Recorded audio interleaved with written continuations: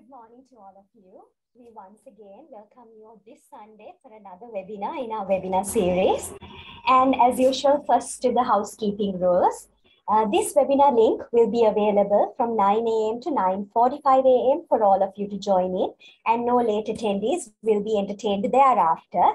Each attendee should have been attended till the end of the webinar to obtain the certificate for CPD points. And these CPD points are strictly adhered to the national NCCPD guidelines. These uh, rules and regulations are in place to improve and maintain the standards of our CPD program structured here in collaboration with GMOA and SHRI. And we thank you once again for joining us every week in our webinar series. And without further ado, I would like to introduce to you our topic today, something very important and very timely. This is about the practical aspects of oxygen therapy, especially focusing on emergency department. As usual, this webinar is also brought to you by the Government Medical Officers Association and the Society for Health Research and Innovation. At the end of the webinar, we will be having a question and answer session. So please feel free to type in any of the queries you have during the webinar to be discussed at the end. We also kindly request you to switch off your video and also to mute your microphone during the session. Uh, today, we have a very distinguished guest uh, with us to talk about this very misused, mistrusted, and mislabeled drug oxygen in our clinical practice. Uh, I would like to introduce to you Dr. Kamira Bopetta, who is the senior registrar attached to the National Hospital of Kandy. He is an MD holder in emergency medicine and also has received a membership of the Royal College of Emergency Physicians. Sir, the floor is yours. Okay, good morning everybody. Can you hear me? Uh, yes, we can hear you. Yeah, okay. So, um, so first of all, thank you for your kind introduction. So, um, today actually I'm going to discuss with you um, regarding a, a drug. That is a that is actually the oldest one of the oldest drug uh, which was found in 17th century. But still we are misusing underusing or overusing this drug. So uh, that is oxygen. So oxygen and also, this is this lecture is with regards to your fifth vital sign. So that is oxygen saturation. Okay. So um, before we discuss about oxygen therapy, especially in the emergency department, this is uh, I'm, I'm not going to discuss with you uh, regarding oxygen therapy in critical care or ICU or oxygen therapy in uh, operation theaters.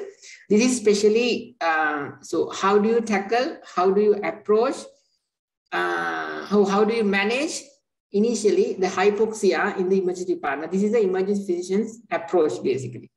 So uh, before we talk about any theory part. So because this is a Sunday morning, so I would like to get more adrenaline surge in your body. So first, I would like to go through some clinical scenarios with you, just to squeeze, squeeze your adrenals in the morning. So um, first clinical scenario, so it is, uh, you have got 60, uh, you can take a either photo, something of this uh, question, clinical scenario, because we are going to discuss the answers for these clinical scenarios at the end of, towards the end of this uh, presentation, lecture. So first question, you have got 64 year old male, a manual worker present to the emergency department with shortness of breath. He has got background history of chronic obstructive pulmonary disease, with two admissions in the last two months, with HU admissions for NIV, but no home oxygen therapy, no home nebulizers. He lives with his wife and he's independent man. So initial observation, saturation 74, room air, central cyanosis, agitated, usual um, the COPD patient's approach to our emergency department. And respiratory is 45, bilateral base, his tachycardic, normal blood pressure, and his febrile as well, temperature 39 centigrade. So you, your department is very busy and you are the attending medical officer. uh, you ask nurse to, um, to start oxygen and nebulization. So that's the reflex, uh, the spinal level reflex. Uh, if you come across this sort of patient, Miss, can you start some oxygen and start some nebulization? Okay. So thinking, uh, so keeping this question one in your mind. So we'll go to the second question. Uh, yeah. So please think of the answer or the approach or how you correct hypoxia in this patient. The second question, the 69 years old male present to ED at 5 a.m. in the morning with rapidly worsening shortness of breath for few hours. He is no longer able to lie flat. Past medical history, ischemic heart disease, ejection fraction 25, hypertension. So vital parameters, respirate 30 with widespread bilateral crepitations, he's hypoxic, he's tachycardic, he's hypertensive, afebrile, and he has got bilateral limb edema. Same approach, you ask the nurse to start, Miss, can you start some oxygen and give some frusemide? So that's the second case. So please take a photo if you want. So then uh, you can formulate your approach, your answer to this question. So we'll discuss the answer to this question at the end. Case number three, these are different clinical scenarios you can come across in the ED. So 40 years old male present to ED with fever, cough, shortness of breath for few days. So that's a very common presentation. Uh, past medical history none, vitals, patient is confused, he's tachypneic, he's very, very hypoxic. He's 85 on non-rebreather mask, 15 liters a minute, the maximum rate of oxygen. Right basal crepitation, he's tachycardic, fortunately blood pressure is stable, and he's febrile. So you diagnose he's having a right side pneumonia. Um, so you plan, you don't think he can go to the board, so you think he needs to go to ICU. So ICU is three hour drive from your emergency department. So then you decide to intubate and transfer. So how do you correct hypoxia prior to intubation? So basically, how do you tube without killing this patient? Uh, so that's question number three.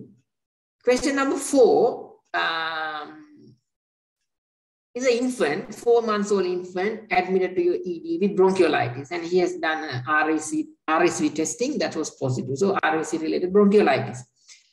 Vitals is tachypneic, subcostal recessions, nasal flaring, crackles everywhere and room air oxygen saturation is 89, he's hypoxic, tachycardic. Luckily, circulation is all right, capillary is two seconds. Generally, child is still alert. Uh, mom said he's feeding less than 50% of normal. So how do you correct hypoxia in this kid? So that's the fourth question. So lots of questions in the morning. Uh, fifth and last question. So you have got 70 kilogram man who's intubated due to type 1 respiratory failure following pneumonia, you are going to transfer this patient to nearest ICU, which is one hour away. So your ventilator setting, you have got tidal volume of 500, respirate of 12, and uh, FiO2, fraction of inspired oxygen is 50%, that's 0.5. And you have got Oxylog ventilator. So healthcare worker inquired you about the size of the oxygen cylinder you, you need. So, sir, uh, මොන සිලින්ඩරේද අපි ගන්න ඕනේ මේ ලෙඩා එහාට ගෙනියන්න. So, so grab a cylinder whatever available. So is that your answer? So මොහරි cylinder ගන්නකො තියෙන එකක් ගෙනියන්න. Is that your answer? So it should not be your answer.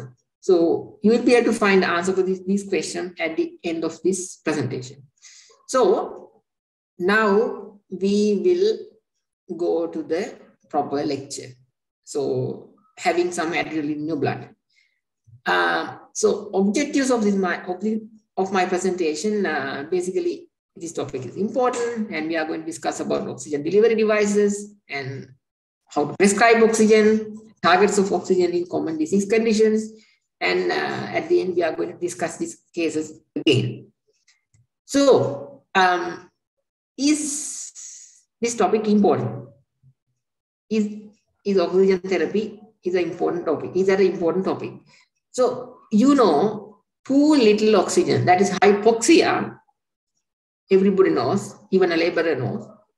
Um, that can kill patient. But do you know that too much, too much oxygen also can kill patients? So that is hyperoxia. So UK data says, so more liberal oxygen therapy increases patient mortality in hospital mortality by about 11 deaths among every 1,000 people exposed. And approximately, roughly like 25% of your ED patient would receive oxygen at some point during your ED stay. So that's a big number. So take home message. So next time, before you dial up or before you open up the oxygen regulator knob, think, am I going to give too much oxygen or am I going to give too little oxygen? Because both are dangerous. So that's one of the take home messages in this lecture. So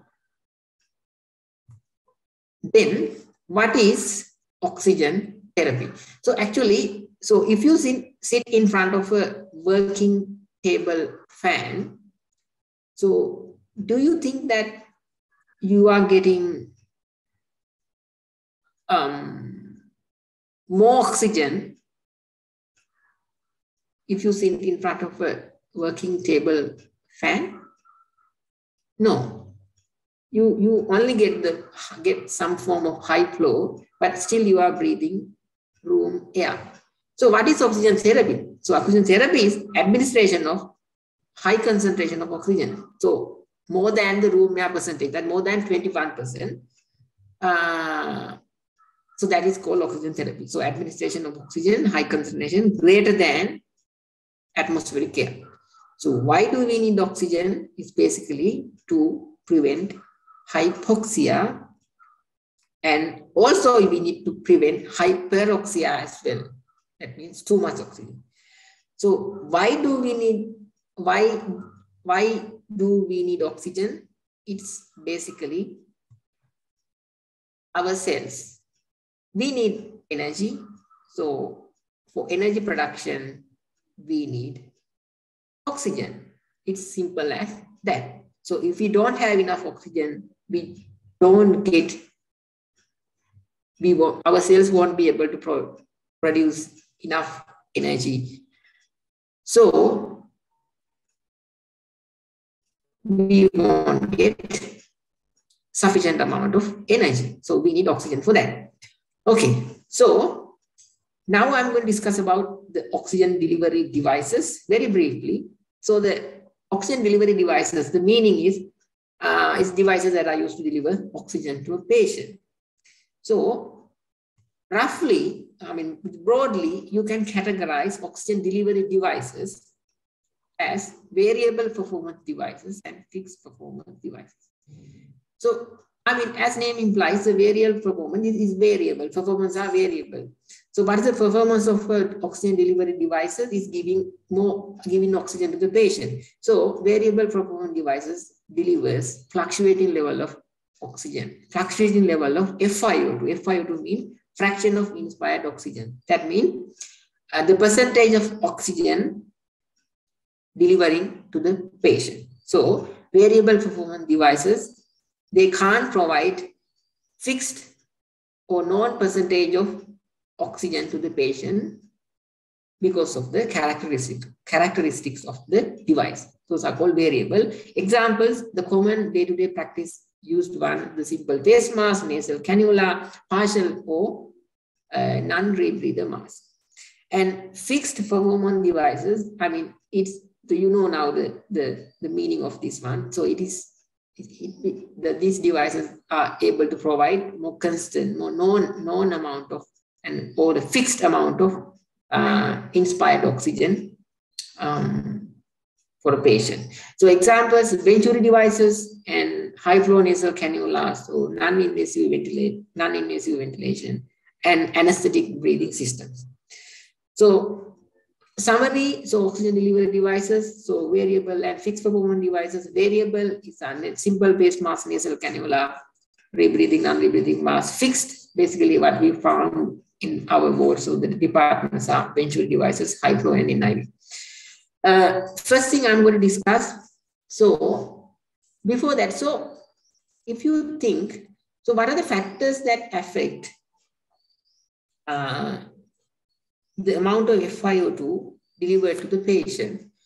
Uh, for example, suppose you are going to you are going to do an experiment. So you are going to give you are going to select two normal two of your friends and you are going to give oxygen six liters per minute via a face mask to your friend named A, and you are going to give 10 liters of oxygen via face mask to uh, your friend B. So who receives more FiO2? It's basically, you, you can understand, is the, is friend getting 10 liters of oxygen. Uh, we'll get another example. You are going to do another experiment. So, so you are you are going to use a normal person and you are going to use a pneumonia patient with significant respiratory distress. So for a normal person, you are going to use 10 liters of um, oxygen via face mask. And for new, so you have a problem with your video feed. Is there a possibility for you to switch on and switch, switch off and switch on your video again? Ah, yeah, yeah, yeah. Uh, would that be all right now? Yes, that's not perfect. Thank okay, you. yeah, good, good, all right. Okay, so uh, so you are going to do experiment. So first, for a normal person, you are going to start 10 liters a minute via face mask and you are going to start oxygen, same amount, 10 liters via face mask to a tachypneic pneumonia patient. So who, who gets more FiO2? Who get higher FiO2? So normal person get higher FiO2. That is, the, the pneumonia patient, usually they are tachypneic so they are breathing fast. So they have got high peak inspiratory flow rate. Peak inspiratory flow rate means, so the, the, the maximum or the highest inspiratory flow uh,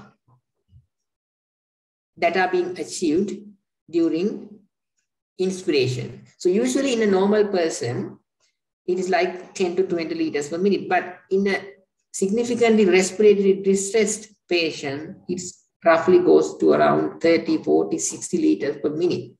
So you are providing only 10 liters per minute through the mask. So how can the patient get rest? So patient needs to take them from the atmospheric air. So there's a dilution of your 100% oxygen you are giving to the face mask with the atmospheric air. So then dilution. So then you can you are going to get low inspired oxygen percentage. So uh, take home point. So the fraction of inspired oxygen percentage or the oxygen percentage delivering to the patient, it depends on the device as well as it depends on the patient factors. So device is usually the flow rate and the size of the reservoir and the, the tightly fitting the mass of the face. And the patient factors, as we discussed, is the respiratory rate and the peak inspiratory flow rate. Okay. So next I'm going to discuss about, briefly discuss about the oxygen delivery uh, devices. So the first thing is the simple face mask. It's a commonly used one.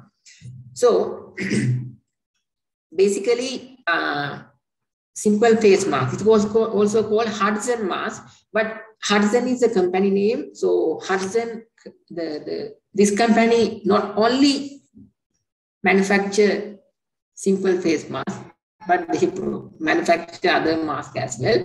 So please try to avoid the name Hudson mask. So use use the simple face mask, the name simple face mask.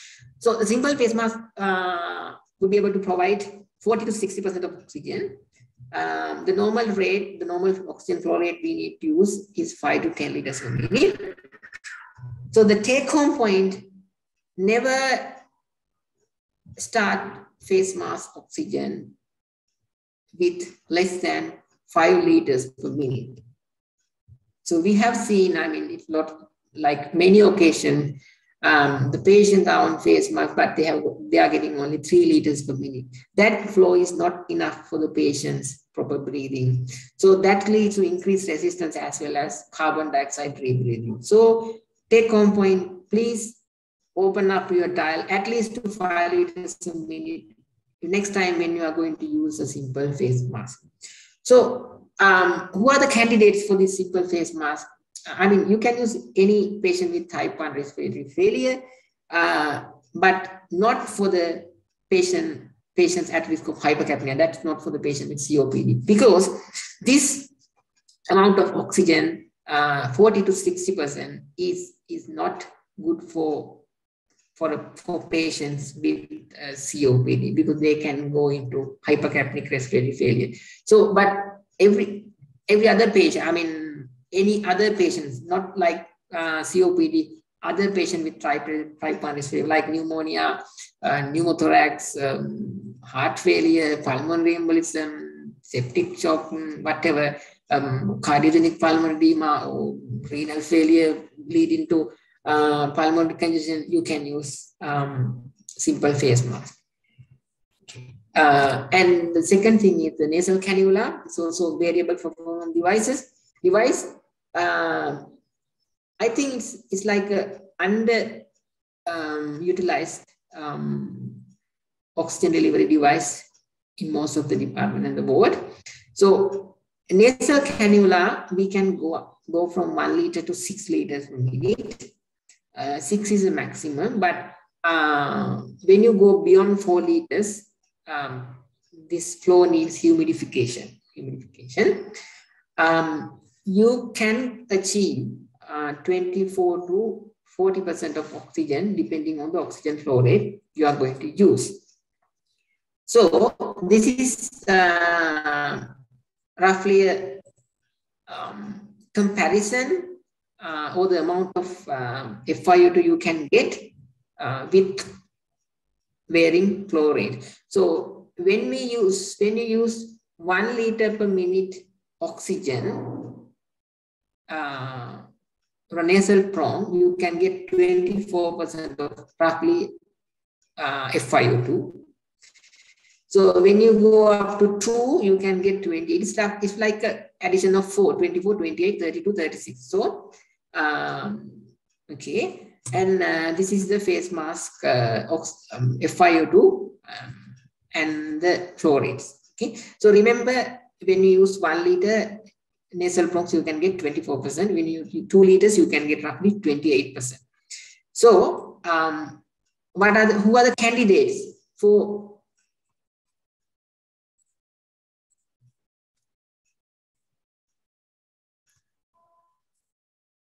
Sorry. Okay. So who are the candidates for nasal prongs? It's also, I mean, we, we can use for a patient with uh, type 1 respiratory that patient with hypoxia. So like for a for patient we use for a face mask, and nasal prongs also use can be used for these sort of patients. Um, advantages of nasal prongs, I mean, it's very easy, it's very comfortable, um, no claustrophobia, patient eat, patient can eat, patient can drink, patient can talk. Um, it's not going to fall like a face mask, it's very cheap, and there's no carbon dioxide rebreathing, lots of advantages. So, and also we can use nasal prong for, for COPD, stable COPD, stable hypoxic COPD patients as well. Because um, if you use one liter, you, the patient will get only 24 if you use two liters, you can patient can get only 28. So these are the advantages of, of nasal prongs, and these are the disadvantages. When, you, when you're using higher flow rates, so patient can get nasal irritation. Uh, if the patient has got uh, blocked nose, you won't be able to use. And actual concentration of FiO2 cannot be predicted. This is only a guess, the 24, 28. Uh, and the third example for the for variable performance devices are uh, partial rebreathing mask and non-rebreathing mask. Okay. So what is this partial rebreathing mask and what is this non-rebreathing mask? So uh, this is the difference. These are this is the, this uh, picture shows the differences between uh, partial and the non-rebreathing mask. On your left hand side, you can see the partial rebreathing mask. As the name implies, so it says there's a partial rebreathing. That means patient is breathing his expired air. So that's called partial rebreathing. And non-rebreathing means patient is not going to breathe his expired air. So that, that means there's no mixing. Here, there's some amount of mixing. So how we are going to identify these two masks? So non-partial rebreathing mask, you don't have um, any valves. So uh, the components of this mask, this is the mask and you have got expiratory holes and there's a tube connection and this is the oxygen uh, inlet and this is the reservoir bag. So when uh, the patient, when the patient expires, some amount of gas, expired gas go through these holes and some amount of oxygen can go into this bag. That's why that's rebreathing. The fraction of inspired oxygen, the amount, the percentage of oxygen patient can receive, uh, usually 60 to 50 to 70% of oxygen uh, patient can receive, patient can get if you use partial rebreathing mask.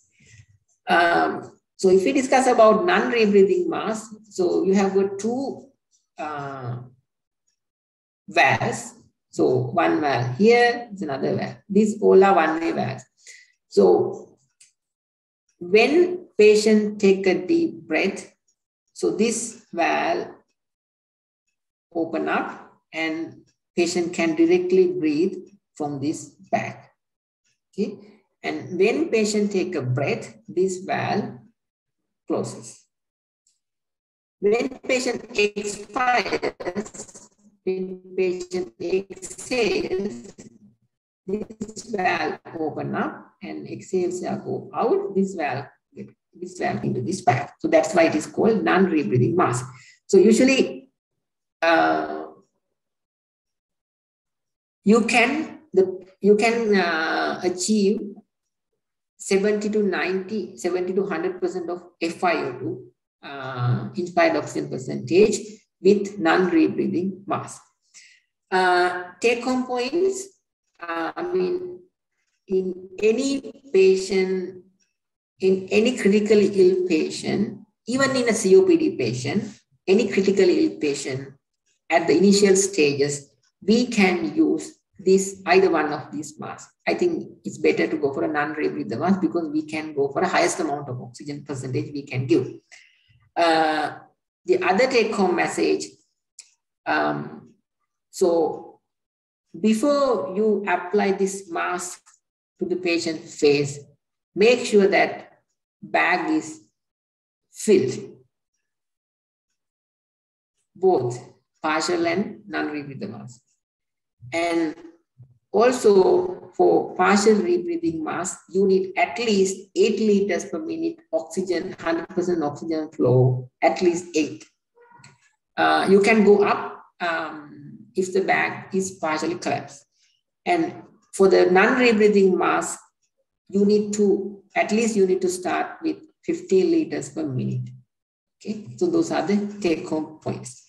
Um, so the, what are the complications of this uh, non-rebreather, partial rebreather mask? I mean, we are giving high flow oxygen, so you can get uh, corneal dryness, you can get oxygen toxicity, too much oxygen. Um, you can get a condition called resorption atelectasis or the denitrogenation atelectasis because you are going to replace uh, more and more oxygen, um, more and more nitrogen with oxygen so the oxygen will be rapidly absorbed into the body. So then there's atelectasis. So that's called denitrogen atelectasis. You can get it um, if the patient is receiving 100% oxygen for a long time, especially in ICU. Uh, and sometimes you can get uh, type 2 respiratory failure in COPD patients because you are giving high percentage of oxygen. Uh, yeah, those are the complications of this uh, non-rebreather, the partial rebreather the mask. Okay. And then we are going to move, uh, we are going to discuss about fixed performance devices, uh, basically Venturi, uh, high flow, CPAP, BiPAP, uh, or the um, anesthetic breathing systems. So Venturi uh, the Venturi devices are able to provide predictable amount of um, inspired oxygen percentage. Uh, the thing you need to remember here, so you know the Venturi, the Bernoulli principle. So if you can look at this blue color one, blue color Venturi device on your right hand side, so you can see a tiny hole in the center. So that's where oxygen, that's where we are going to give oxygen. So when oxygen comes through this tiny hole compared to the Venturi device on your left hand side, so according to the Bernoulli principle, you can generate more negative pressure. So then this can suck more air compared to this green color one. So that's why you have got this big uh, air entraining hole. So, so more air sucked in. So you are giving 100% oxygen 2 liters a minute through this hole and you are getting more air sucked in to the Venturi devices. So more dilution. So you get low FiO2. So that's 24. So remember blue color Venturi, 24%.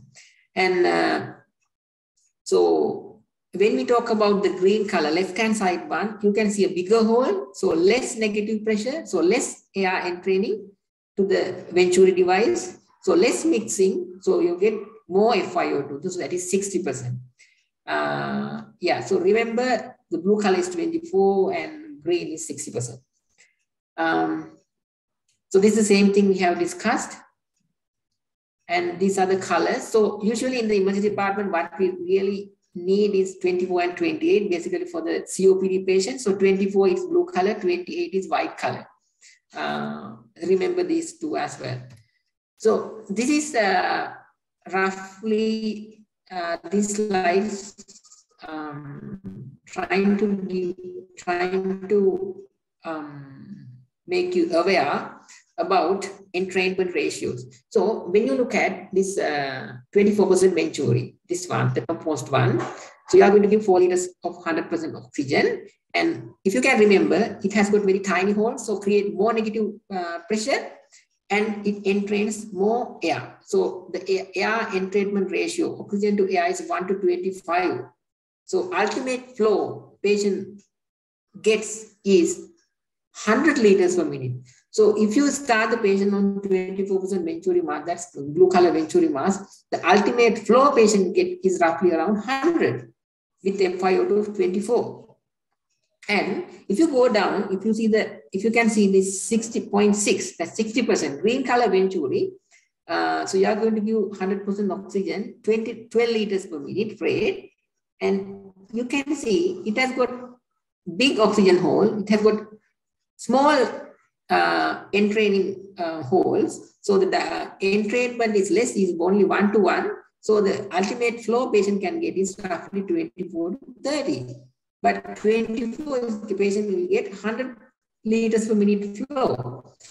So that's important. So if you are going to use uh, green color Venturi in a significantly respiratory distress uh, patient uh, with high inspiratory peak flow rates, um, so as we discussed earlier, so the high inspiratory flow rates is roughly like uh, in a pneumonia patient, suppose it's 40 liters per minute. So patient needs at least 40 liters per minute for some time when, when he take uh, when he inspirate. So, but the Venturi is able to provide only 24, roughly 30, 30 liters per minute. So patient needs to take some amount of atmospheric air um, through the mask holes. So there's more dilution. So take home point. So if you if you are going to use uh, Venturi with higher FiO2 setting, in a tachypneic patient, so you, you may not be able to give uh, this fixed amount, but you will be able to give only less, lesser than this one. That's the take home point, okay? So then we are going to briefly discuss about prescription of oxygen because I mean, um, next time when you when you go to your board, when you go to emergency department or when you go to ICU, don't tell your nurse that, Miss, please start oxygen. Because oxygen is a drug, so you need to prescribe oxygen, except in very, very emergency situations. So how we are going to prescribe? It's like any drug. You need to mention the delivery devices. You are going to use nasal prong, you are going to use face mask, or you are going to use uh, Venturi. And you need to make, write down the flow rate. So if suppose you are going to start nasal prongs, so write down nasal prongs 2 liters a minute. And you need to mention, you must mention the target oxygen saturation rate. So for a COPD patient, you are going to go for 88 to 92, and for other patients, you are going to go for 98. So you need to mention these three things next time when you when you prescribe oxygen in your ward. I mean, then that that you are doing wonderful job to your patient. And do we need 100%? Although this slide says 100% is good, 100% is not good. You don't need 100% saturation always, except in very few occasions like carbon monoxide, cyanide poisoning, and those stuff. But those are rare. But like 95% of occasion situation, you don't need 100% oxygen. You need only like 94 to 98% saturation oxygen. So you don't need 100% 100% saturation always. Uh, okay. So then we are going to discuss targets of oxygen therapy in common disease conditions. So the first thing we are, I'm going to first uh, disease condition I'm going to discuss with you is chronic obstructive pulmonary disease. So uh, chronic obstructive pulmonary disease, as we all know, so we know too much oxygen is not good for patient with COPD. So, uh, because excessive oxygen administration, administration can lead to hypercapnic respiratory failure in some COPD patients. Why? Um, I mean, the traditional answer is they have got a hypoxic drive. Is this right? Uh, that was a traditional, traditional teaching, but the current literature says that hypoxic drive related or based on explanation is not completely true in COPD patients. So, um, the current literature says actually the COPD patient has got supernormal respiratory drive. So, uh, please remember that. So, then what really happens? So why uh, too much oxygen is going to kill or too much oxygen going to deteriorate our COPD patient? It's basically uh, the current explanation is, is due to increased VQ ventilation perfusion mismatch. So I'm, I, will I'll briefly explain. So what is increased VQ mismatch? Okay. So um, you know in uh, for these COPD patients, um, they have got um, some form of chronic lung damage. So, um, when you have got chronic lung, lung damage, so they have got like ventilation problems, air movement problems. So, because of this uh, ventilation, or the chronic lung damage, the, their lungs, they have got hypoxic pulmonary vasoconstriction as a compensatory mechanism to improve their gas exchange. Simply, they have got altered VQ as a compensatory mechanism to improve their gas exchange. So what happened when you give more and more oxygen, uncontrolled oxygen to these sort of patients? When you give uncontrolled oxygen, so you are going to release this hypoxic pulmonary vasoconstriction. So you are going to basically dilate the pulmonary vessels.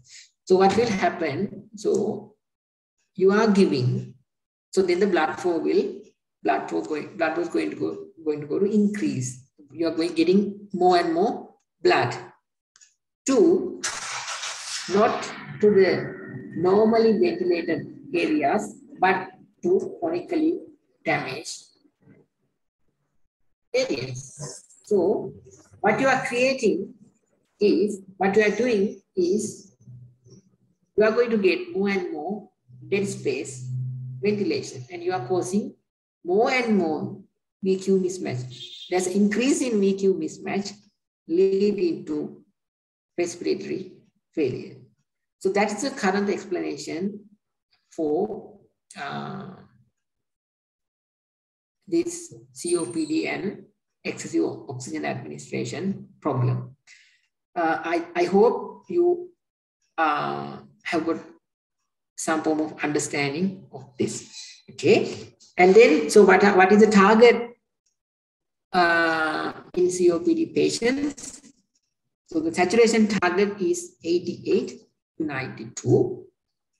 Uh, so how, how we are going to give oxygen to a COPD patient? So we need to do control oxygen, not liberal oxygen. So the control oxygen we can give either Venturi or we can give nasal cannula. So Venturi blue 24, Venturi 28 white or nasal cannula, uh, one liters, two liters. So one liter you can achieve 24, you two liters you can go for 28. So these are the ways of giving control oxygen, simply giving control oxygen to a COPD patient. But you need to remember saturation target is 88 to 92, not 94 to 98 to 100. So, um, and also I'm going to discuss briefly about the other disease conditions um, like acute asthma. So our aim is to maintain saturation 94 to 98. Not saturation, we don't need saturation 100. So we need only 94 to 98. What are the ways of achieving that? You can use any of the available, I mean, oxygen delivery devices depending on the patient needs. So nasal cannula, face mask, venturi mask, high, either high flow, whatever, depending on the patient um, severity of the illness. And in acute heart failure, um, our threshold to start oxygen, our in acute heart, heart failure, based on ESC 2021 guideline, threshold to start oxygen is saturation 90%. Saturation 90%.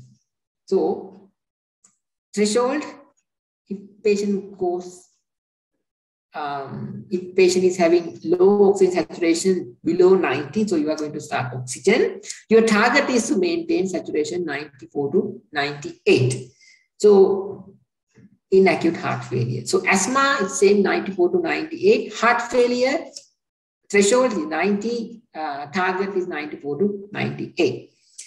Um, and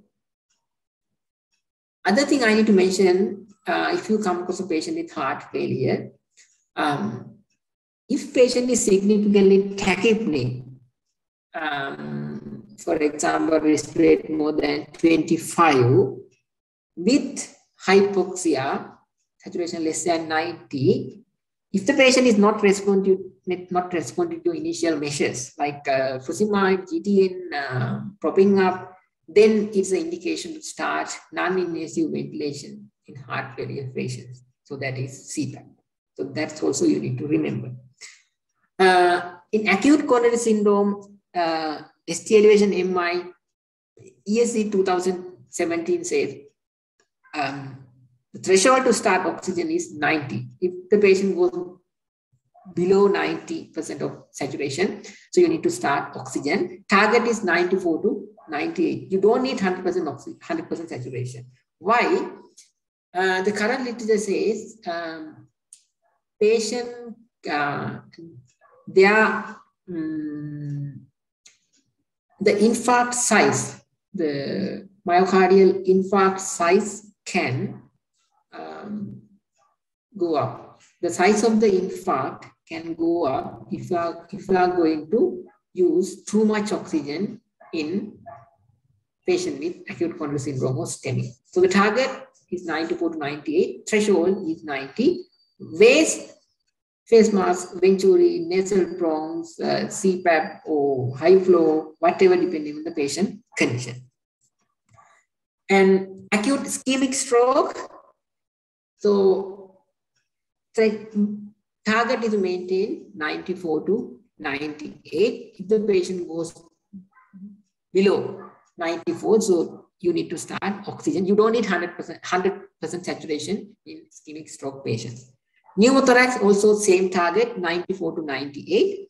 Suppose you are going to admit uh, a patient with pneumothorax uh, without a tube, like you are going to admit for observation uh, with a patient with simple pneumothorax to a surgical or respiratory ward, uh, basically for observation. So you can consider starting on uh, 15 liters of non-rebreather oxygen, provided that patient has hasn't got any risk of type 2 respiratory failure, like hypercapnic respiratory, like uh, COPD.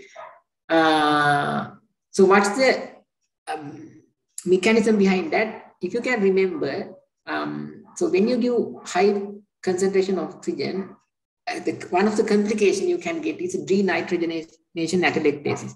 So that we are going to use in this uh, occasion as a therapeutic uh, principle. So if you give more oxygen, to the uh, in the pneumothorax, the nitrogen will be replaced by oxygen and the oxygen will be rapidly absorbed into your body. So then uh, the pneumothorax will quickly get resorbed to your body. So that's the um, theory or mechanism behind that. And other conditions like pneumonia, pleural effusion, pulmonary embolism, shock. So your aim is to maintain saturation 94 to 98, not saturation of 100. So those are the few examples, um, few disease conditions, I mean, commonly encountered disease condition where you need to have a target and the threshold and uh, you need to decide on the mode, the way you're giving oxygen. Okay. So now uh, we, I mean, I think we have completed like uh, briefly completed like sort of uh, theory behind the oxygen therapy. Now we can talk or now we can discuss our questions. With the question number one, um, so the 64 year old uh, manual worker present to emergency department with shortness of breath. He has a background history of COPD with previous admissions, uh, H2 admissions for NIV, uh, no home oxygen, uh, current vital saturation 74, he's agitated, he's cyanosed, um, and respirate 45, bilateral this, tachycardic, and he's febrile. So your department was very busy. You asked uh, Miss uh, Nebula Data Oxygen Padanga, the Nebula Scan Padanga. So in 10 minutes time, when you, so you, you are going to see your patient and you are going to review the nurse's. So nurse has done few things. So nurse has prop up the patient. So that's very good. So any hypoxic patient uh, you need to prop up or you need to let, uh, we need to keep the patient maximally, maximally comfortable position so that patient, like in COPD, patient will get a tripod posture. Mm. So propping, propping up any hypoxic patient that includes patient oxygenation. So that's good. And the second thing, nurse has started 50 liters non-rebreather mask, and now patient saturation is 89%. Initially, it was 74. Uh, and the third thing NUS has done, uh, has started oxygen-driven nebulization. So that means uh, patient has connect, connected the uh, nebulizer, the nebulization chamber to the oxygen cylinder or the whole oxygen. So do you agree with her actions? What do you think about this uh, NRB? So if you go back, so this patient, is this patient critically ill? Yes or no? Is this patient is going to die within an hour if we if you are not going to start any any treatment? His patient will die. Patient is very, very hypoxic. Patient is severely hypoxic and his center is cyanosed and he's agitated. Um, and he's very tachypneic. He's tachycardic. He's showing all the signs of hypoxia, possibly hypercarbia as well. So this patient is critically ill and this patient is very, very hypoxic. So is it, is it wrong to start 15 liters per minute oxygen with NRB, non-rebreather mask, for this patient? No, it's not wrong. It is not wrong to start even for a COPD patient to start oxygen via non-rebreather mask if they are critically ill during the initial stages. Not for hours, but for initial few minutes or 15 minutes. So and get good saturation of at least 88, you can start 15 liters per minute um, non-rebreather mask. So that's not a contraindication, even in a COPD if they are critically ill. But you are not going to go beyond 92 in this patient. That thing you need to remember. So you you you are not going to start the non-rebreather and go to the canteen and having it, getting a cup of tea and come back in 30 minutes. So you need to continually monitor this patient and then you need to adjust the oxygen saturation uh, and the, the way of you are giving oxygen. So I think you I think you have got my point. So third thing nurse has done is oxygen driven nebulization. So the in COPD patients, not asthma patients, COPD patients, oxygen driven nebulization is not recommended. So the current practice, so the current evidence-based guidelines says, so you not it's better not to start oxygen driven nebulization for COPD patients. Uh, but the recommendation is you need to start air-driven air-driven nebulization uh, for COPD patients, or if you want nebulize COPD patients, COPD exacerbations. So uh, I hope you you understand this clinical scenario up to now. So then um, you need a blood gas. You need the arterial blood gas while the patient on high flow. So you can you can see these blood gas numbers. So you can see uh, the patient oxygen is 90 millimeter mercury, patient carbon dioxide is 50 millimeter mercury. Uh, and you can see bicarbonate is 32, you can see pH is 7.31, you can see lactate is 2.2. So how, how, how you are going to interpret this blood gas? So, um, so first thing you need to look at is the pH. So pH is 7.31. So you can say this patient is acidotic. So the next question, whether this patient patient has got respiratory acidosis or the metabolic acidosis. So let's see the respiratory uh, components of carbon dioxide is 50.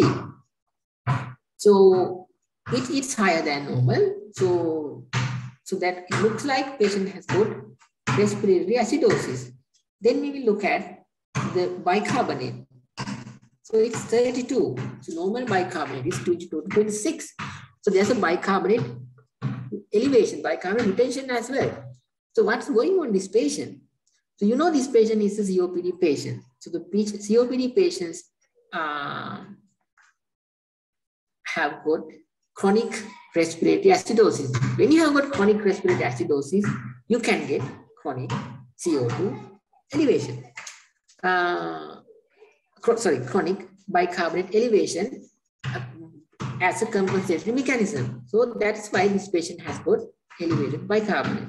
So in summary, this patient has got respiratory acidosis and patient has got elevated bicarbonate. Looks like patient has got acute on chronic respiratory acidosis. Uh, so what's your next step? So, so far you have propped the patient, you have given, you have started with the 50 liters, now saturation is 89. You have started oxygen, not oxygen, but uh, air-driven nebulization with salbutamol and ipratropium. You have given steroids. Um, so what's the next step? So this is a blood gas.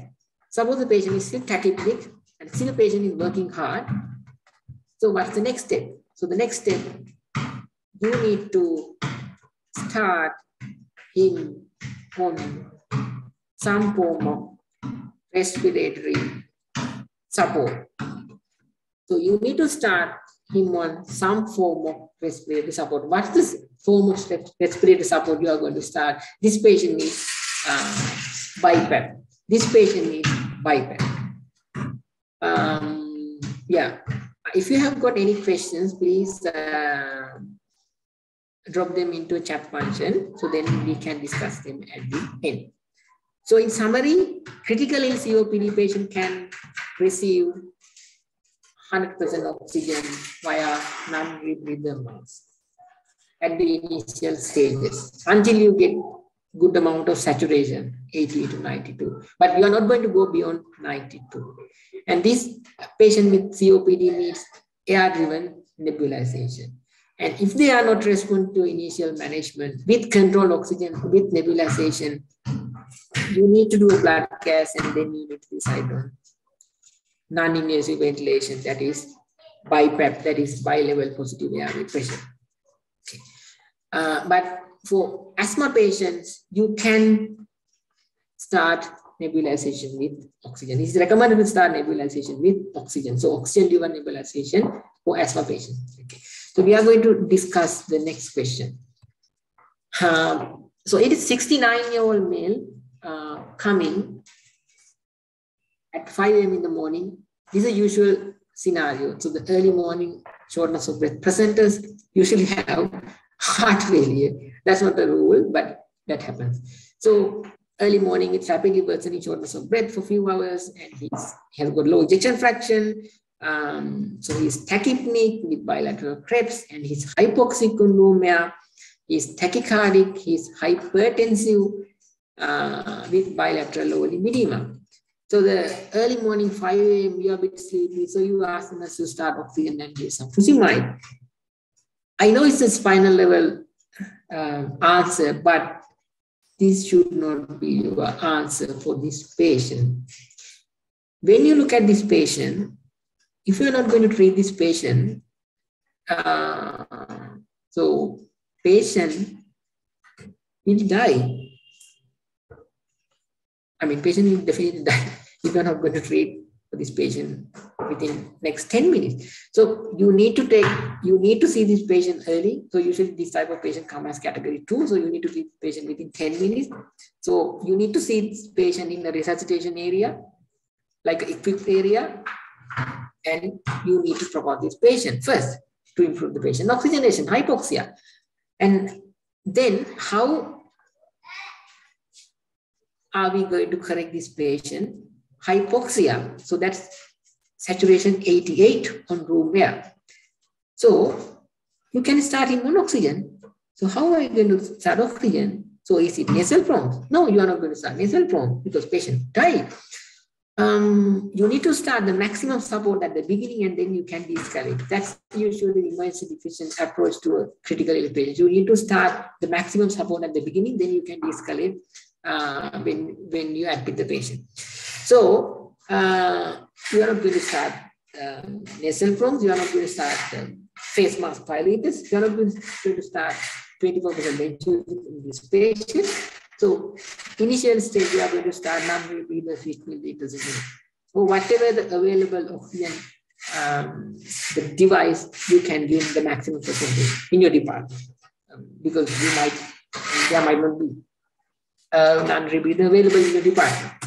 So first thing up, you give oxygen NRB 15 liters minute, and then you need to start, or at the same time, you need to start your medical measures, um, giving IV frusemide to dilate pulmonary vessels, and giving IV GTN to dilate pulmonary vessels, as well as to reduce the preload.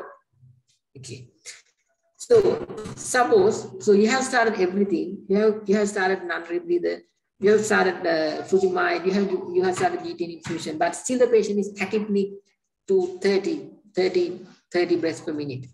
So then what are you going to do? So, I mean, if you can remember, um, we have discussed that in acute heart failure, I don't think you have a doubt, you have a doubt about this patient diagnosis. This patient has got acute pulmonary edema. So, uh, so is this patient need just, is this patient just need only oxygen and medical measures. So does this patient need respiratory support like the previous COPD patient? Yes, if the patient is not responding to initial measures within first 15 minutes, so it is indicated So the BiPAP, C, sorry, CPAP is indicated in this patient. So what are the indications to start CPAP in acute pulmonary edema? So ESC guideline says you need to start as soon as possible. And criteria saturation less respirate more than 24. So I mean, patient has already fulfilled those criteria. So you, this patient needs CPAP if he, if he's not responding to initial measures. measures. So that is uh, management of heart failure, initial heart failure. So the third question, um, case number three, you have got 40 year old male ED with fever, cough, shortness of breath for a few days. Uh, he's confused, he's tachypneic, he's hypoxic, even on non-rebreather 15 liters. He's got bilateral, sorry, right basal crepitation. He's tachycardic, luckily his blood pressure is stable, he's febrile. So your clinical diagnosis right side pneumonia.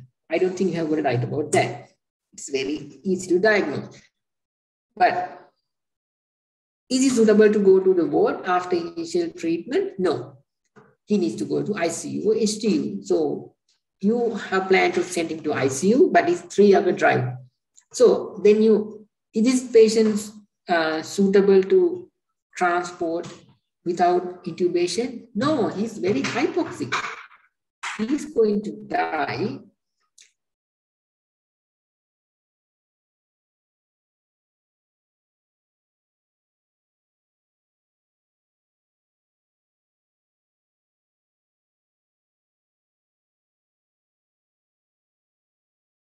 be his patient. Is it just uh, keeping the patient flat on a trolley and keeping the NRB on the patient face and ask the nurse to get ready with the um, intubation uh, equipment, Macintosh, and the patient to give some midazolam and succinylcholine completely ignoring the patient's saturation and the other vital parameters, giving just sucks and midazolam and putting the tube should not be your approach. Because this patient is critically ill during your intubation. This level of critical hypoxia can lead to cardiac arrest. So you want to, do you want to kill this 40 years old man coming with simple pneumonia? Do you want to kill this patient by putting a tube? You will be able to put the tube because you are competent, but you won't be able to save this patient. So you need to correct hypoxia prior to tubing. So how are you going to correct hypoxia? What are the ways of correcting hypoxia in this patient? So uh, I'm going to give you a bit of complex congested um, slide. So, uh, just a simple question. How many oxygen cylinders do you need to manage this patient? At least you need to have two oxygen cylinders, two oxygen regulators to intubate this patient. At least you need to. Um, so the first thing, as we discussed, so we need to prop this patient to improve patient lung capacity and improve oxygenation. And the second thing you need to put a nasal prong. But don't um, start oxygen, but put the nasal prongs. And then uh, you can attach the attach your non-rebreather mask and open up the regulator to 15 no at least 15 but you can open up more and more, then you can get much more, much greater uncalibrated flow. I think you got my point. Um, so you prop up, you put the nasal prongs and but you are not going to connect the nasal prongs to oxygen. Uh, or you can connect, but you are not going to open up. And then you put the nasal prongs so put the non-rebreather and start the maximum amount of flow you can give to the non-rebreather mask. And then you are going to monitor this patient for a few minutes. So your target is aiming saturation more than 98 prior to intubation. Um, suppose with propping up with non-rebreather I mean, this patient already on non-rebreather, you didn't do any additional thing. I don't think you will be able to achieve more than 98. So then, are we going to intubate without achieving saturation 98? Or are we going to achieve and intubate? So, what are the ways of achieving? What are the additional measures we can do? We have got two or three options. So, you can start him on CPAP. You can start him on CPAP with good PEEP, with good uh, PEEP, like 10, 12, to improve his oxygenation. Or you can start him on high flow nasal cannula. Start with 4 to 6 liters a minute with 100% oxygen. So that's the other way. Or else, if you don't, if you, if you, if you do not have any of these machines in your department, you can get the bag and mask, you can get the ambu bag. You can attach the PEEP-valve. Without PEEP-valve, it's difficult. You need to put the PEEP-valve because you need this patient needs a big high PEEP. So get the ambu, close the PEEP-valve, uh, and then slowly ambu and let the patient with 100% oxygen to achieve 98, at least 19% saturation. Uh, and then you can proceed to intubate this patient. Otherwise, you are going to kill this patient. So, why, why do we need to achieve, why do we need to achieve this 98 target or higher amount of saturation target prior to intubate this sort of critical ill patient? Because we need to denitrogenate lungs. We need to increase, we need to enhance the safe period of apnea um, in this sort of critical ill patient. So you and me, we have got roughly one minute say, period of apnea. But if you denitrogenate them, if you if you um, fill their lungs, if you fill their blood with oxygen, then we can enhance the safe period of apnea to at least five to six minutes. So that's our aim because if you're not going to enhance or lengthen the patient's safe period of apnea, and if you are going to start, if you are going to intubate this patient with saturation 90, next minute patient will drop his saturation to 85 and then you, you if you can remember oxygen dissociation curve, patient will go into the steep part, then patient will rapidly deteriorate and patient will get a cardiac arrest. Then you are in trouble. Okay. So that's the pre-oxygenation period. Then, so you have you are going to give uh, sedatives, you are going to give paralytics, and then so during when you when you when you give paralytics, the patient is stop breathing. So during this apneic period, apneic period until the patient get fully full paralysis for a minute. So what can we do? We can start apneic oxygenation. So what's this apneic oxygenation? So if you can remember at the beginning, I have a nasal cannula, but we haven't started oxygen. So now it's time to start oxygen 15 liters a minute, 15 liters a minute nasal prong oxygen um, during this apnea period. Is this going to um, is this going to help the patient? Yes. Although you haven't got uh, any respiratory movement because you have stopped the patient breathing, still oxygen can diffuse the patient blood. So the roughly, if you are, when you are giving 15 liters a minute nasal prong oxygen during apnea period, uh, 250 ml of oxygen can diffuse into your blood. So that's a good amount of oxygen. Okay, so that's called apneic oxygenation. And then you can put the tube and then you can connect the patient to the ventilator. So that's how, we, how um, you are going to intubate this critically ill hypoxic pneumonia patient. In summary, prop up, hook the nasal cannula, put the uh, non-rebreather, open up the maximum flow. If you can't achieve, get a CPAP, get high flow, or if you don't have, if you have if you have nothing, start back and now with the PEEP valve closed. Get the saturation 98 and give paralytics um, and uh, sedatives, and then um, um, start apneic oxygenation. Then you put the tube, then you connect to the ventilator. I have discussed only the correct, only correcting hypoxia, but we need to think of the patient hemodynamics parameters as well. That is tachycardia and blood pressure. So heart rate and blood pressure. So I'm not going to discuss the heart rate and blood pressure management um, during this peri-intubation period in this patient. I've discussed only the correcting hypoxia. I hope you, you have you got some some form of understanding how you should approach for this sort of critical ill hypoxic patient. Okay, now uh, we'll go to the case number four. You have got a four-month-old infant with bronchiolitis, RSV related. That's a common presentation. Uh, so the infant coming with bronchiolitis. Um, so uh, when you look at the patient respiratory parameters, patient is hypoxic um, with saturation 89, room and is tachypneic, subcostal recession, nasal flaring, bilateral crackles. So I would consider this patient is in severe respiratory distress. And luckily, um, she's not in a shock. She's tachycardic, but capillary is good. I assume that she's not in a lot of shock.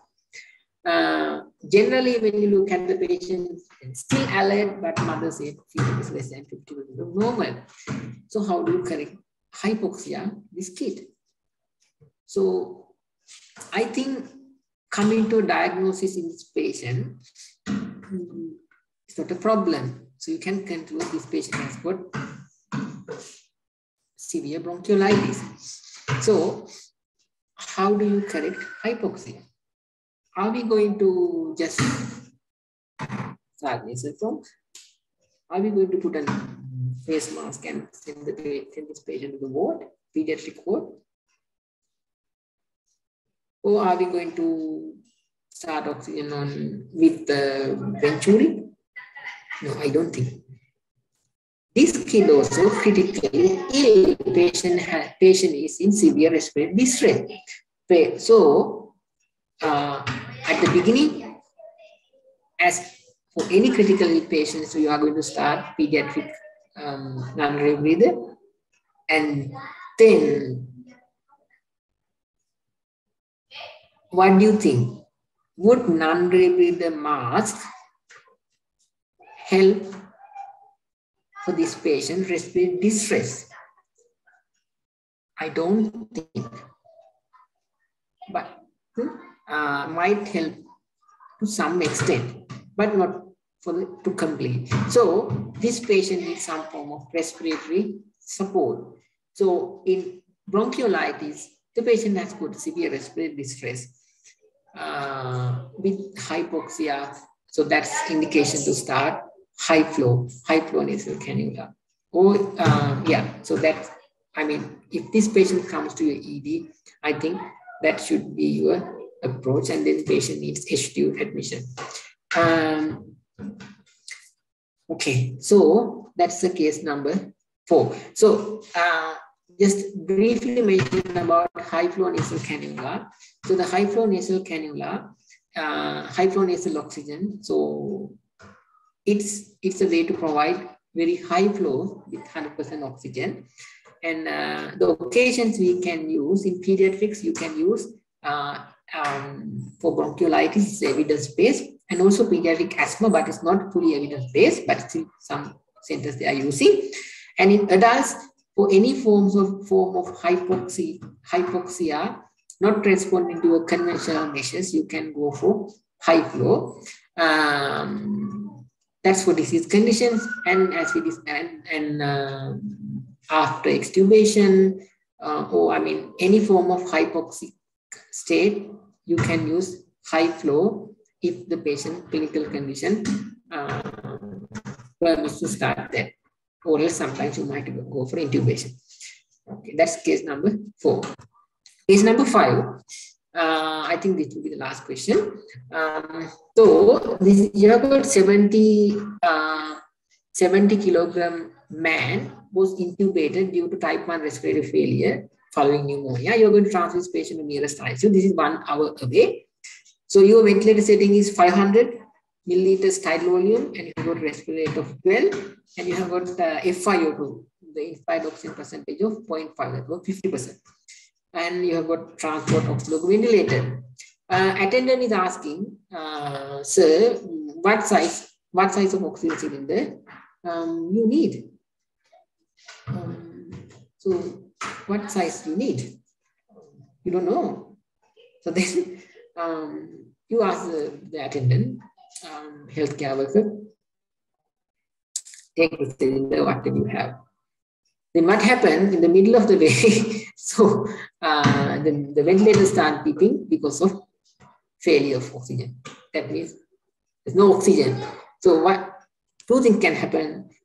One thing is anyway patient is going to deteriorate. That's first thing. Sometimes patient can die.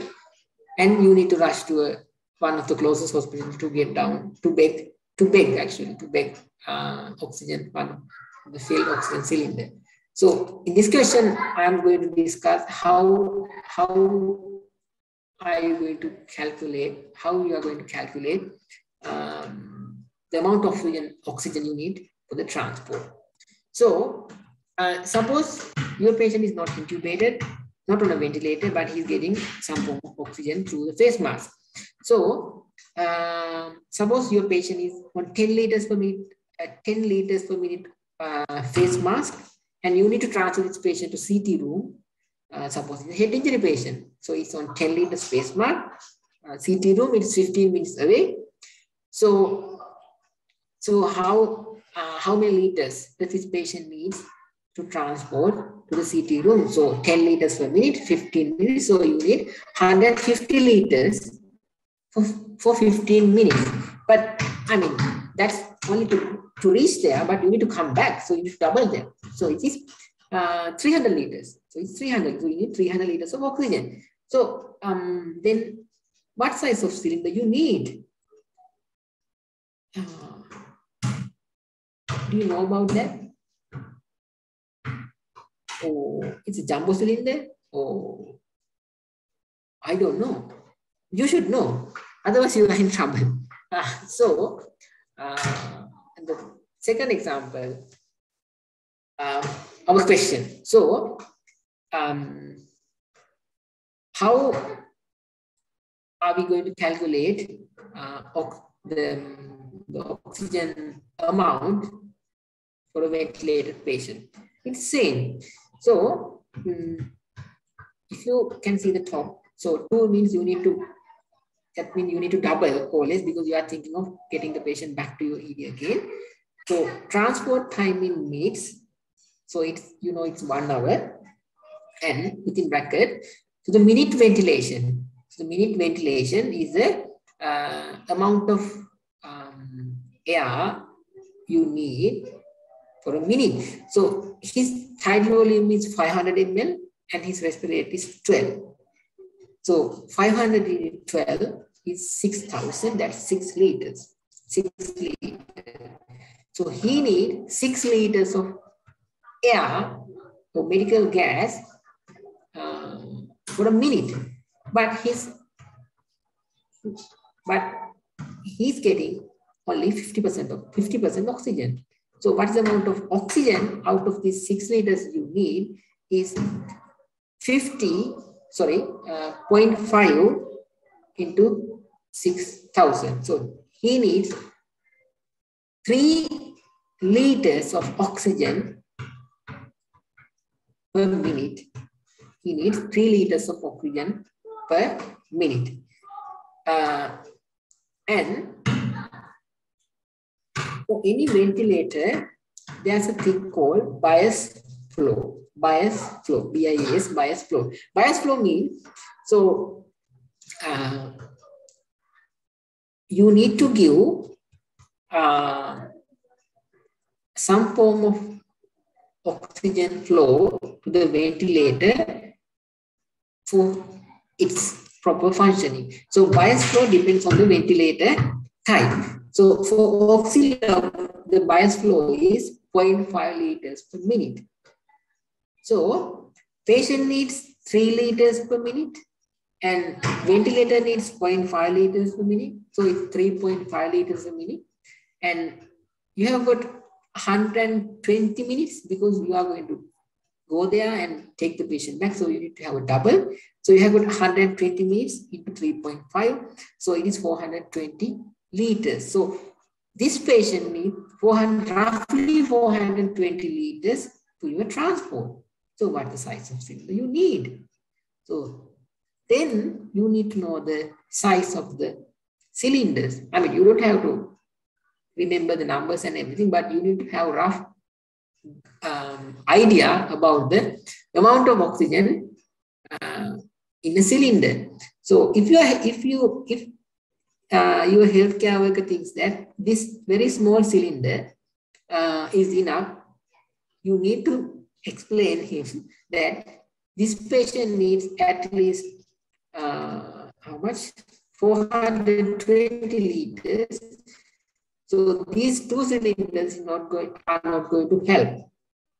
So at least you need this cylinder called E cylinder uh, to transport this patient. The is the, the height of D cylinder is like to your knee level. So if you if you if you come across a cylinder uh, which uh, which has a height up to your knee level, roughly it's a D cylinder.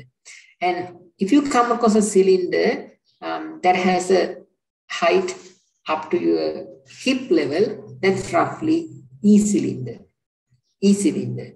And other cylinders is, I mean, you are not going to transport with the jumbo cylinder, so then you need to get another ambulance to transport this cylinder. So roughly uh, and E cylinders, uh, or sometimes F cylinders would help for the transport.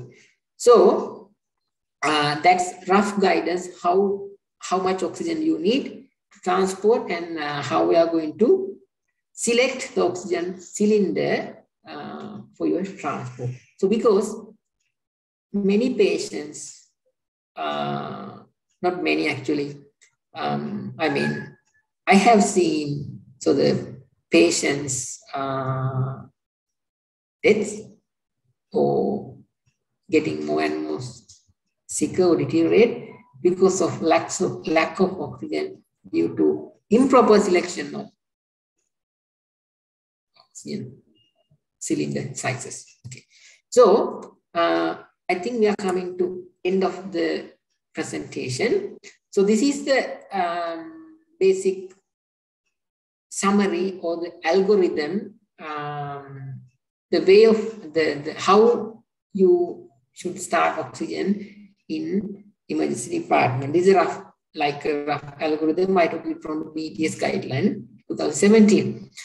Uh, when you look at left top, is this patient critically ill is this patient in very high condition? Yes, this patient needs NRB 50 liters a minute or the maximum amount of oxygen you can give, you need to start. Then you get the his saturation up uh, to either 88 to 92 or 94 to 98.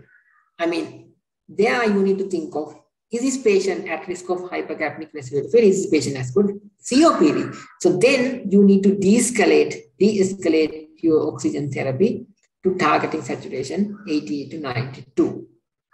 Uh, if the patient hasn't got any risk factors, then you can aim for saturation 94 to 98. So any critical ill patient uh, starting non-renal is not a contraindication at initial stages, even in a COPD patient, but you need to de-escalate once you uh, get his saturation up. So that's the basic summary of this slide.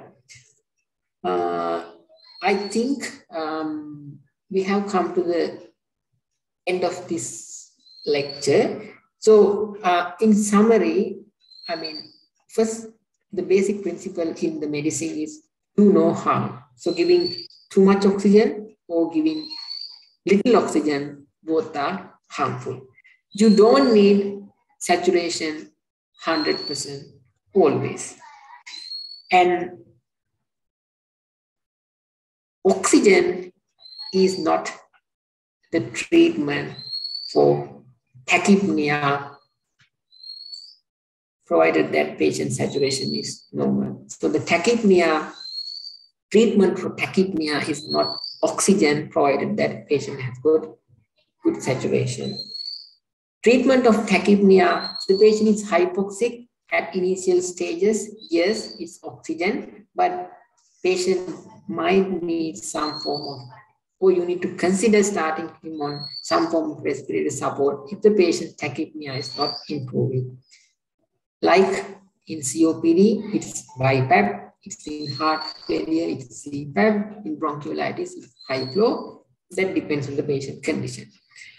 Uh, and um, we have discussed some clinical scenarios and we have discussed uh, the oxygen, transport oxygen calculation. So I think we have come to the end of this lecture. Uh, I hope you have got some understanding or I have improved your knowledge. I mean, that's good. If you have got any questions, uh, I mean, I think that the this is the time to ask or um, you can contact me via GMO uh, to my email. Uh, thank you very much. Uh, thank you very much, sir. We have quite yeah. a few questions received from the audience. Uh, yeah. We might have time to discuss a few of them. Uh, yeah. The first question is, uh, for how long is it recommended to use a non-rebreather mask? I mean, there's no um, rough guidance.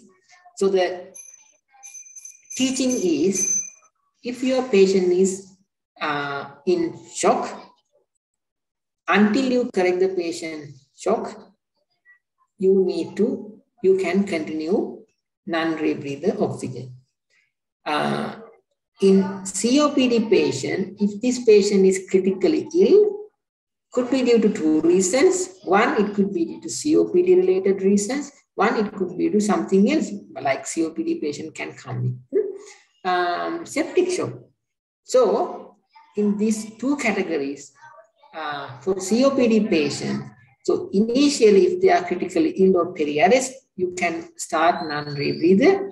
And once you get their saturation up to around 88 to 92, then uh, you need to de-escalate his oxygen um, supplementation uh, either to uh, Venturi or either to uh, nasal prongs, uh, something like that. But there, there are no hard and fast rules um, mentioning or indicating that this is the, the maximum time you can use high flow.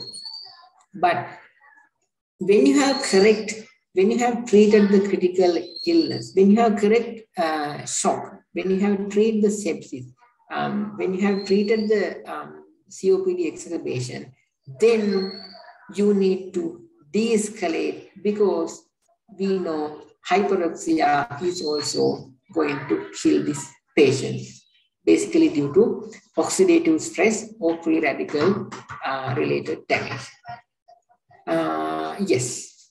Uh, so the next question, it's uh, more of a practical question.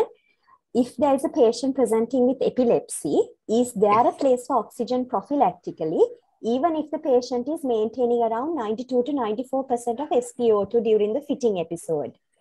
Okay.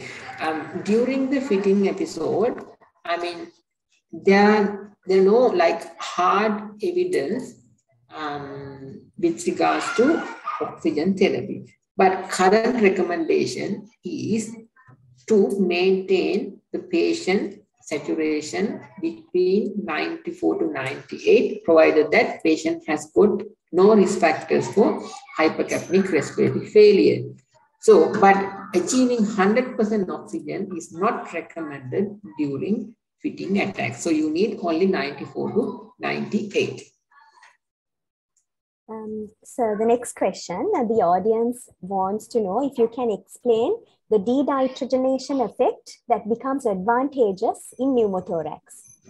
Yes, the, the denitrogenation effect is, uh, so it's the concept is called denitrogenation uh, or resorption uh, related um, shrinking. So, so you know, uh, when you have got a pneumothorax, the composition of the pneumothorax, the composition of the air in the pneumothorax is um, same as the other, the normal atmospheric air it is more contain nitrogen and it contain less oxygen.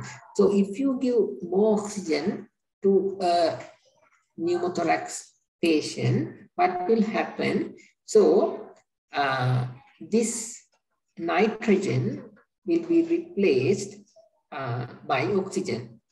Um, so the, this oxygen will quickly get absorbed into our body. So then there's the shrinking, there's a, um, like a, uh, the, volume of the pneumothorax will um, be reduced. So that's that's the basis of starting oxygen uh, for undrained pneumothorax. So that's um, like well explained in uh, BTS guidelines 2017. Uh, the next question, sir. Shouldn't we start oxygen in all patients coming with acute coronary syndrome and stroke despite the saturation as a supportive measure? No, no. I mean, I think we have discussed uh, that question already. So acute STEMI, ST elevation myocardial infarction. So the recommendation to start, the threshold to start is 90%. So the target is to maintain 94 to 98. Uh, yeah, so that's the uh, current recommendation. I mean, this can change later because of the new evidence, but the current recommendation is that because there's a risk of increasing infarct size in AM acute myocardial infarction patients if you are going to give too much oxygen. That's the theory behind that. Uh, the next question, sir. Why oxygen-driven nebulization is not recommended in COPD? Uh, because in COPD, so when you, if you, if you want to give oxygen-driven nebulization, you need to start at least, at least six liters of minute 100% oxygen. Um, so you need to dial up the oxygen regulator at least six, six liters per minute. And you are going to give six liters per minute oxygen via tubing to the nebulization chamber. So the nebulization chamber is attached to the um, nebulization mask. So, but nobody knows the exact amount of oxygen percentage, exact amount of FiO2, exact amount of inspired oxygen percentage patient is receiving with these six liters. And we know this patient, this COPD patient uh, do not or they are not uh, benefited from uncontrolled oxygen therapy because of um, their, because of not their hypoxic drive, because of their derangement of uh, VQ mismatch. So, question for your answer, and uh, giving uh, nebulization with oxygen, so we don't know about the oxygen percentage and we are giving uncontrolled oxygen, so that is not good in COPD patient. So that's the basic theory. But for asthma patient, um, so you can uh, asthma asthma hypoxic patient, basically asthma hypoxic patient, you can give oxygen driven nebulization because oxygen is not going to harm uh, in COPD, sorry, asthma, moderate to severe asthma patients. Um, one more question, sir. Just like yeah. in question number one, we discussed, our audience want to know how do we decide between BiPAP and CPAP for a patient? So, uh, and CPAP are uh, actually, they come under umbrella term called non-invasive ventilation. Uh, non-invasive ventilation is uh, provision of providing positive pressure ventilation, providing positive pressure ventilation uh, to a patient without putting a tube, without uh, putting a basically tube. So that is called non-invasive ventilation. So invasive ventilation is providing positive pressure ventilation with tube, through a tube. So that's basic difference between NIV and ILV. So NIV, uh, basically you have got two options. One is CPAP, other one is BiPAP. So the um, the question was, what are the indications or how we are going to start CPAP, how we are going to start BiPAP. So what are the indications? CPAP uh, is, if it's simple way to remember is CPAP basically correct your hypoxia. Okay, BiPAP uh, usually correct your hypoxia a little hypercarbia, that is CO2 retention a lot. So that's the basic difference. So going back to CPAP again, so the, the evidence-based recommendation for CPAP uh, in critical patients is basically like for uh, heart failure patient with type 1 respiratory failure. So ESC guidelines recommend uh, to start CPAP uh, for, for patients coming with acute heart failure. If uh, your initial measures, if your initial measures, starting in NRB, giving Lasix, giving GTN, the, the, the medical treatment, if the patient is not responding to your initial measures, like within 15 minutes, then if still the patient has got uh, respiratory distress, like signs of significant work of breathing, uh, respirate more than 24, saturation less than 90. So those are the indications to start CPAP in patient with uh, heart failure. But any other hypoxic patient like pneumonia, uh, asthma, or pre-intubation, pre-oxygenation, mm, so still you can start CPAP, but they are not um, like very well evidence based. And when you talk about BiPAP, the usual recommendation is uh, to start BiPAP in COPD. It's very, very well um, recommended guideline-based treatment for COPD exacerbation. So the indication to start BiPAP in COPD patient so you need to start your initial management. So you need to start your control oxygen. You need to start your nebulization. You need to start your steroids. You need to start your antibiotic if indicated. Provided that you have started your initial measures and within one hour of medical treatment, the patient still has got significant respiratory distress uh, as evidenced by respirate more than 24, plus uh, blood gas evidence of respiratory um, respiratory acidosis.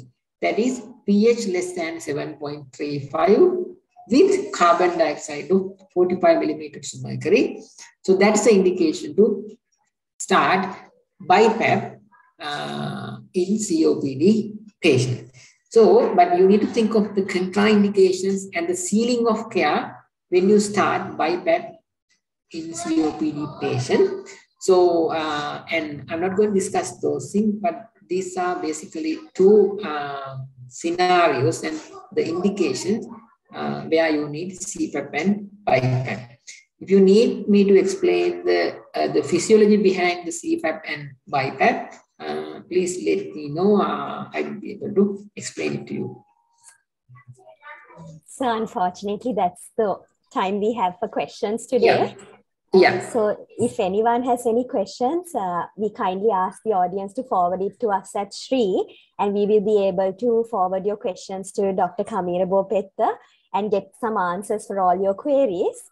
Um, with that, thank you very much, sir, for today's lecture and joining with us this Sunday morning and giving that very insightful and concise uh, lecture on a very important topic and a very important therapy we use in our daily practice. Um, our audience, thank you again for your participation, for coming together every Sunday.